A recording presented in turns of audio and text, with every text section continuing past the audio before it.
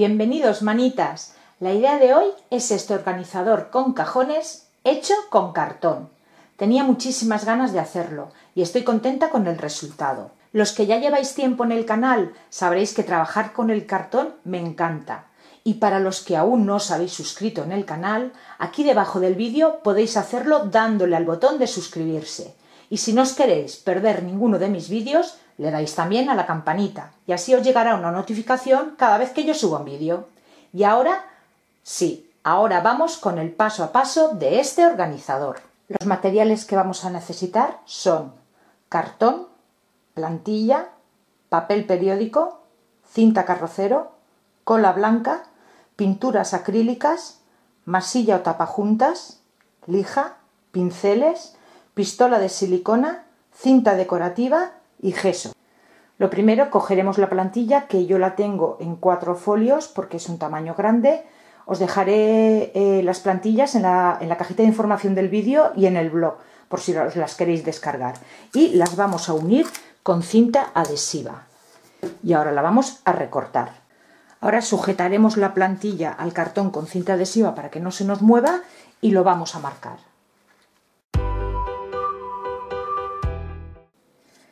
Ya la he recortado y le he marcado los cuatro cajones que va a llevar.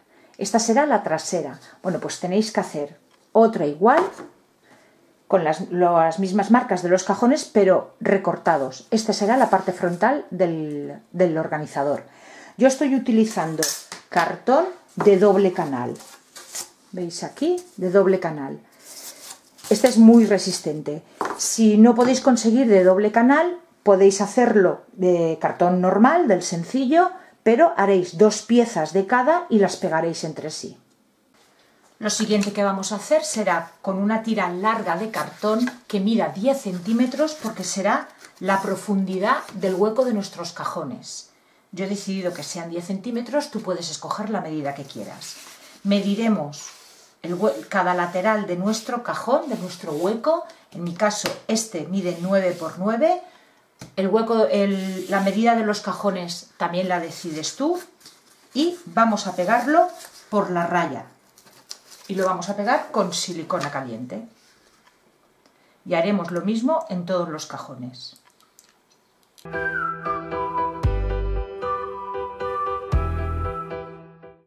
Una vez ya hemos pegado todas las partes de los huecos de los cajones, vamos a reforzarlo las esquinas con cinta de carrocero.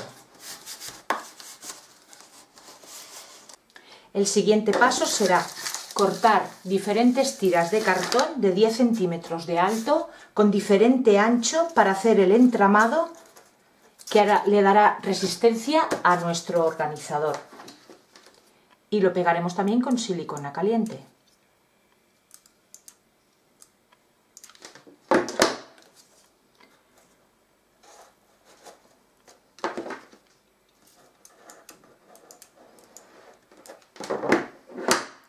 Y esto lo iremos haciendo por todo el hueco.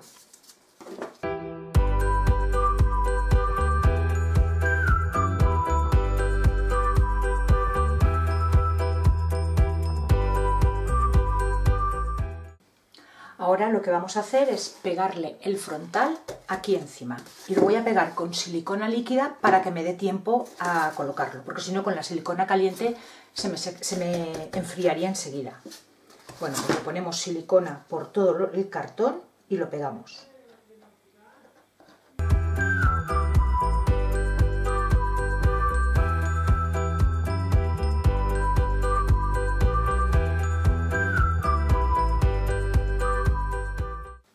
Le ponemos peso encima y lo dejamos secar.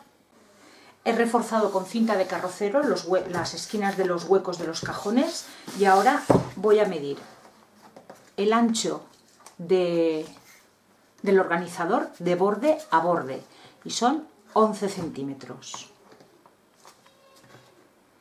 11 y medio. Bueno, pues voy a cortar una tira larga de 11 y medio. Bien, pues ya tengo la pieza cortada. La única precaución que hay que tener, porque como esta, este organizador tiene zonas curvas, vamos a tener que darle forma al cartón enrollándolo. La única precaución es que el canal, el doble canal que va por aquí, que vaya en esta dirección, de arriba abajo, porque así nos será mucho más fácil doblarlo. Bueno, pues voy a doblarlo y vamos a empezar a pegarlo con silicona caliente.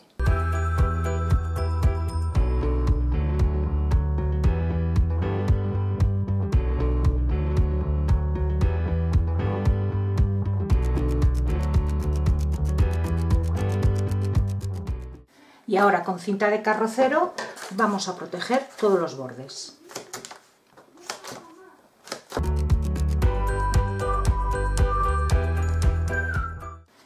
Ahora lo que vamos a hacer es darle una mano de cartapesta. Tendremos que recortar trocitos de periódico o de publicidad, de papel. Eh, cuanto más pequeñito lo hagáis, mejor, porque menos arrugas se os harán. Y lo voy a pegar con cola blanca rebajado con agua. Dos partes de cola blanca por una de agua. No le pongáis más agua porque si no el papel se os arrugará mucho. Yo le voy a dar una mano solo de cartapesta porque mi cartón es ya es suficientemente rígido y no le va a hacer falta más. Pero si el cartón que vosotros utilizáis es de los finitos, pues le tendréis que dar dos o tres manos, dependiendo. Bueno, pues vamos a empezar con la cartapesta. Y tenemos que hacerlo alrededor de todo el organizador.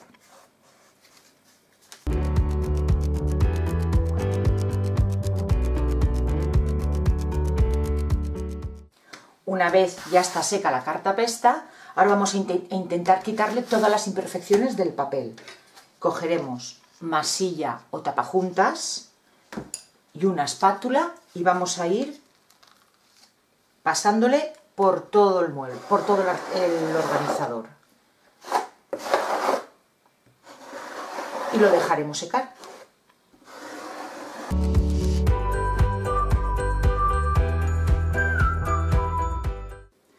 Una vez el tapajuntas ya lo tenemos bien seco, le vamos a dar una pasada de lija a todo el organizador y con un trapo le quitaremos el polvo y ya lo tendremos lisito y habremos cubierto todas las imperfecciones que haya podido tener el papel. Y ahora ya vamos a hacer los cajones. Yo aquí ya he adelantado un poquito de trabajo y ya tengo hecho algunos cajones. Bueno, tengo hechos tres. Y este va aquí, ¿vale? ¿Cómo vamos a hacerlo?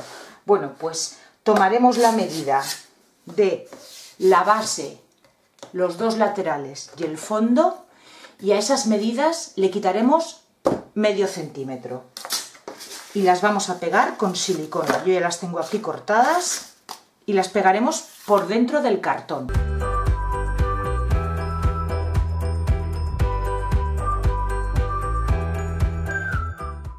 Una vez ya tenemos la base y los laterales pegados, lo vamos a colocar en su sitio tomaremos la medida del hueco, de los lados del, cajón y le quitaremos unos 3 milímetros a las medidas que tenemos para que la tapa nos encaje bien en el hueco que tenemos.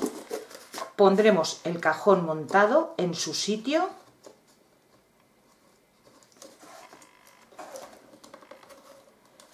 le pondremos silicona y pegaremos la tapa.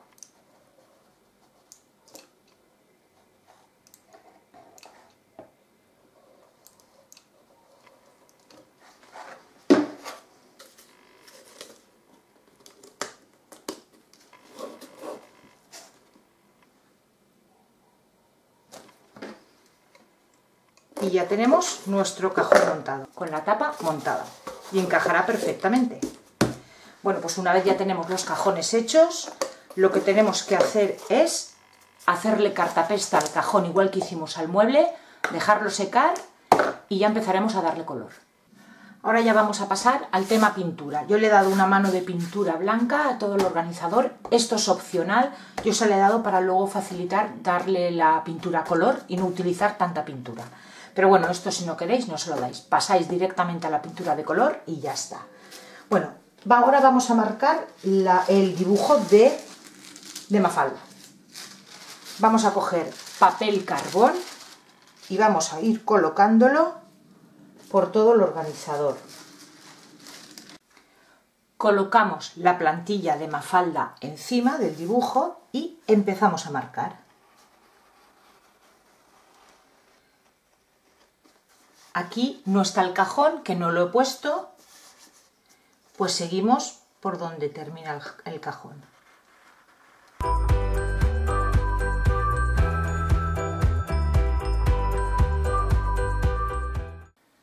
y ya tenemos más o menos la referencia de por dónde tenemos que darle color. Bueno, pues ya vamos a empezar con el tema pintura. Yo he adelantado un poco de trabajo y he pintado los cajones, tanto por dentro como por fuera, menos el frontal del cajón, la parte de atrás del organizador y los huecos de los cajones los he pintado de negro. Y ahora vamos a empezar a darle color a, a nuestra mafalda. Yo voy a utilizar estos cuatro colores que es rojo, negro, blanco y color carne. Y ayudándonos de el dibujo que marcamos, vamos a empezar a pintar.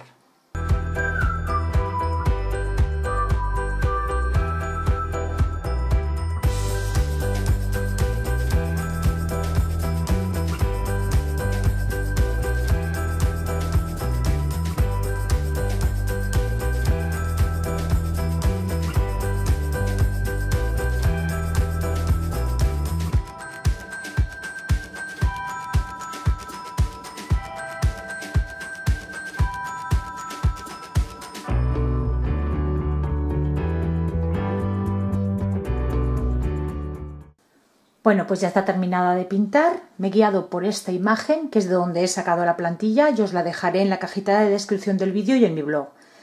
Em, ahora lo que queda es barnizarlo. Voy a utilizar un barniz en spray, barniz al agua. Lo dejaré secar y cuando esté bien seco le pondremos los tiradores. Y ahora vamos a poner el tirador de los cajones. Buscamos el centro de la cajonera.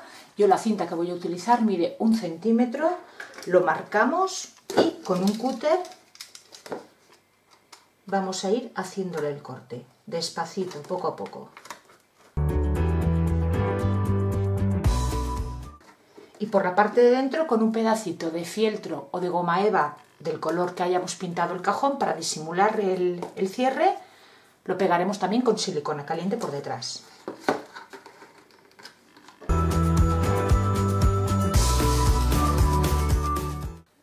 y ya tenemos terminado nuestro organizador. ¿Qué os parece? ¿Os gusta cómo ha quedado? A mí me encanta.